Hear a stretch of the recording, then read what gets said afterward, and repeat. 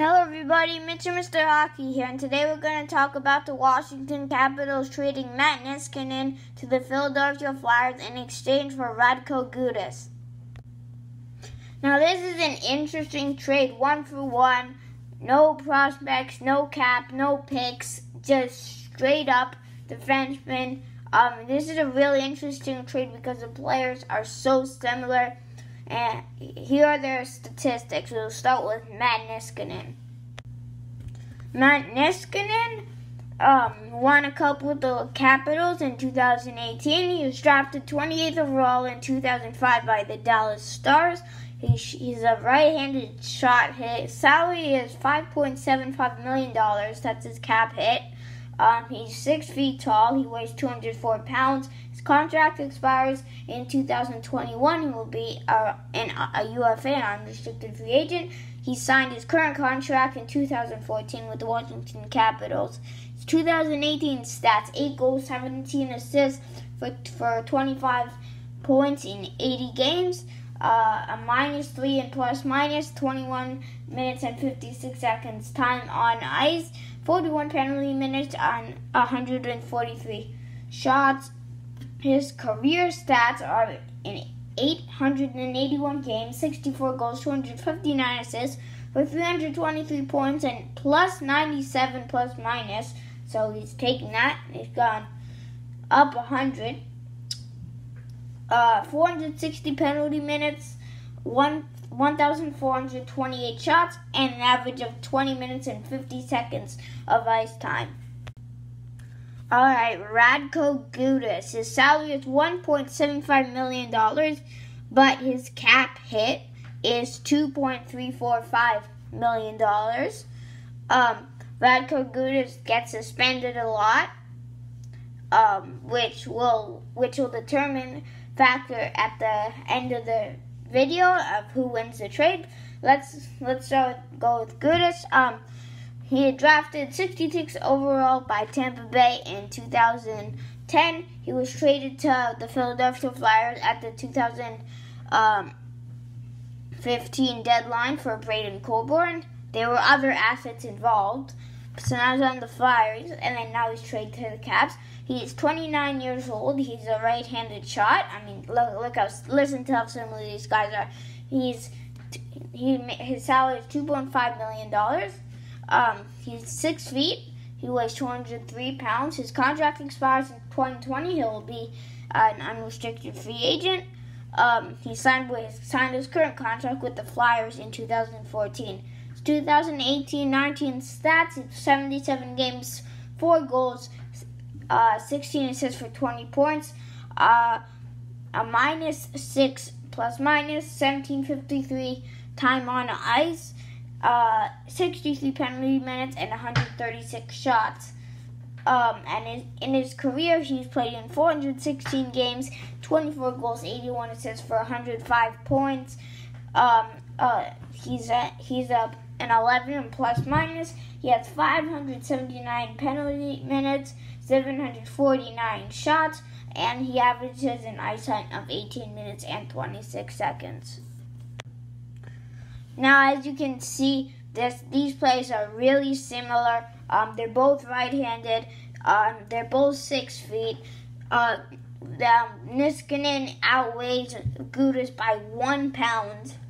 Um, they're both stay-at-home defensemen who can who can, can who rarely contribute on the offensive end. Although Niskanen is significantly better, um, and and that that will also determine who wins the trade.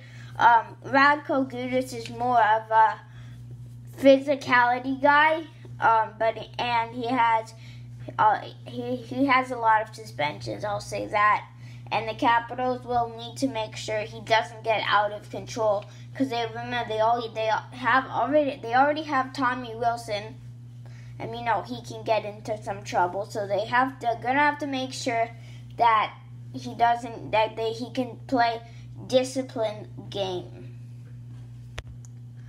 We're gonna look at the flyer side of the deal. Why they're gonna do this deal. Um, so right now, um, this is after the trade. They have fourteen million nine hundred sixty-seven thousand dollars in salary cap space. They've still got a boatload of salary cap space. Um, um, they are hoping that with Matt Niskanen plus whoever they're maybe planning to add with the cap space, plus a full year of Carter Hart, plus a full year with no crazy injuries, will push them over the line and get them into the playoffs and hopefully get them far. As Hart develops, they're still gonna have um, they're still gonna have a good team. Um, Matt Niskanen isn't isn't gonna fade away immediately because he's 32. Uh, like some defensemen do, he's still gonna be a cor- a good piece, a solid piece on your team for the next couple years. Um, so they are trying to get into the playoffs, and once they get into the playoffs, it will be a whole other story, and they will deal with that then. But right now, it's about getting a lineup to can push over the edge and into the playoffs. For the Capitals, they have a very, very, very different reason for making this deal. Um, as they have 4.2 million dollars in cap space left. Um, the reason is, in one year, Braden Holtby will be an unrestricted free agent. In two years, and uh, Nicklas Backstrom and Alex Ovechkin will be unrestricted free agents.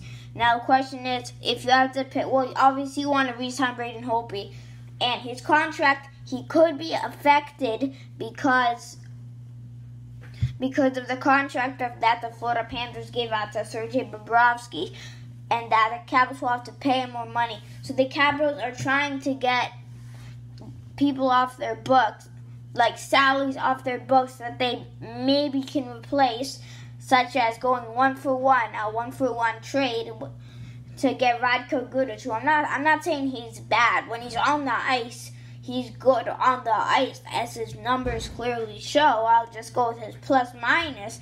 He's getting, he's not bad plus he, he's got a, he has a six for plus minus. So when he's on the ice, he's good.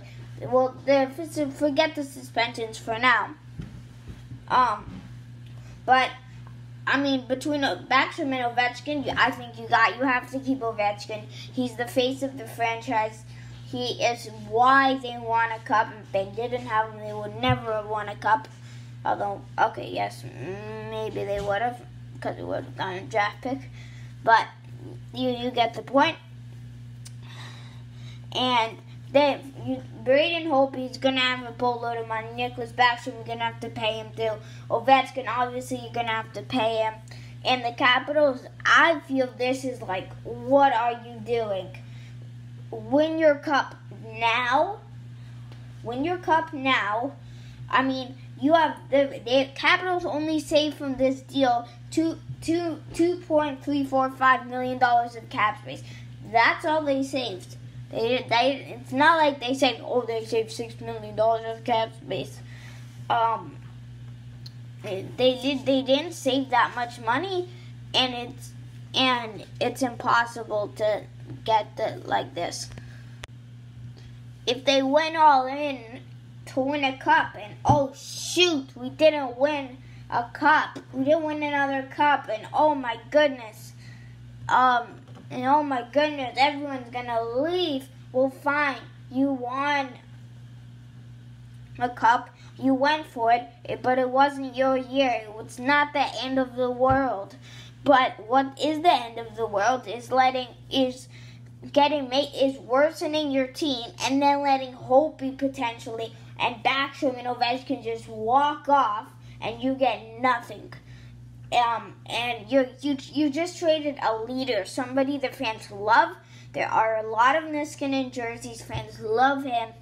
You're trading guy the fans love for this guy who just who's on the Flyers.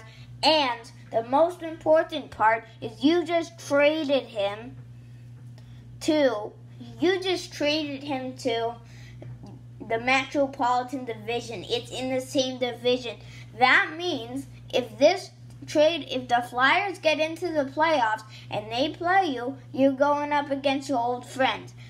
And I think it was it's a bad idea to trade to your own your same division unless it's absolutely necessary. And um, you can see where I'm going with this. And yes, you, you will not be surprised when I say now. Yes, the Flyers win this trade. They're getting a better player for probably the same amount of time that they're going to play for each team. Um, the Capitals accomplished almost nothing. It's not like they got a huge jump in signing Holtby. They've only got 4.2 million. It's not like they got a huge jump, and then they still have. Even if they do sign Holtby, they, they still have Backstrom and Ovechkin. It would be better for the Capitals to use um, use their salary cap and win the cup than to try and do this, I think. So, Flyers win the trade. Good deal for them. Good deal. Um, and it's going to be exciting to see Matt Niskanen on the Flyers next year. So thanks for watching, guys. Don't forget to like and subscribe. Comment down below who you think wins this trade. Remember, keep all these factors in mind. Um, tell your friends about the YouTube channel, and I will see you in the next one.